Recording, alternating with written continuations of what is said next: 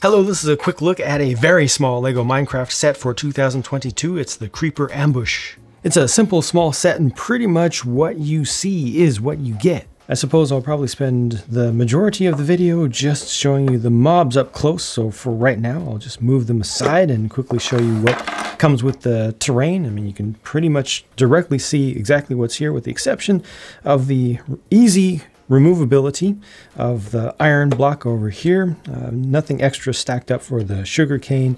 Got your crafting table over here, and there is an action feature built into this nicely. Doesn't stand out, doesn't scream at you.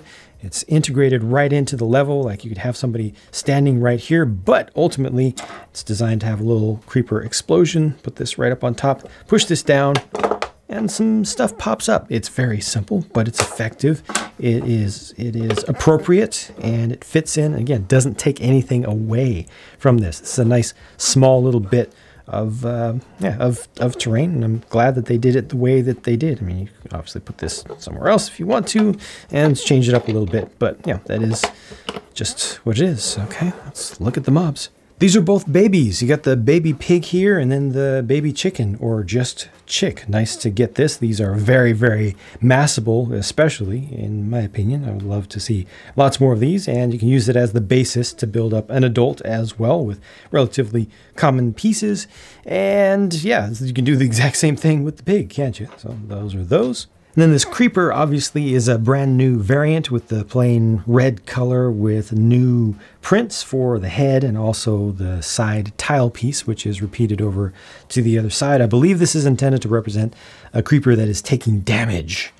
I think that's what they're going for. Obviously, it is way, way, way too bright red for that. It should have just a little bit of reddish tinge, but I don't know how you can approximate that in LEGO, especially since the whole thing isn't printed and doesn't have that pixelated pattern in the first place. Uh, this is not intended to be a creeper that's blowing up because, of course, when they blow up, they turn white and they just increase in size. There's no red involved in it whatsoever, and the the, the cloud is not a fireball. It's just cloud. It's it looks more like steam than anything. So going towards white not towards red.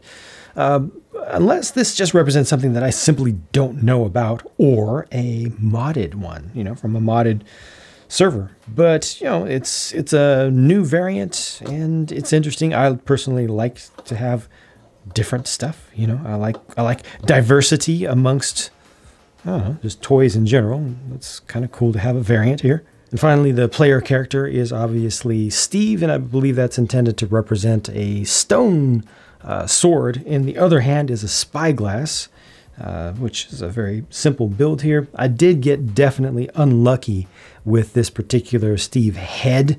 It's a step back. I feel like this is from an older batch because they were getting better most recently, and this one feels older. It's offset to one side and not as opaque as the most recent ones that I had previously seen from the last uh, the, the last release wave before January. So I'm going to chalk that up to just uh, just just bad luck, and hopefully, you know, they're doing better. But I will be on the lookout for poor quality, a return of poor quality in the other sets when I review them. So this costs just ten dollars US. $10 is a great price, and I'm so glad that LEGO continues to put out more sets at that price point with even decent value. Like, there's a good amount of stuff they easily could have left out at least one of these mobs here. I think that the the amount of terrain is appropriate. The little bit of extra play value, uh, play value is good and doesn't detract from the appearance of things. I mean, this is a nice little practically just a vignette just by itself for somebody who wants to have a small desk model to represent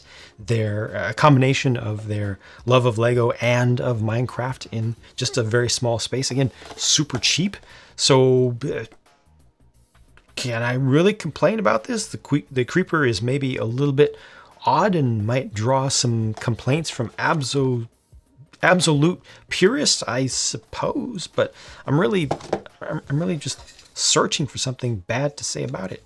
I don't have much myself, if anything. So let me know if there's anything you don't like about it down in the comments. But thank you for watching. Hope you enjoyed this, and I'll talk to you again very soon.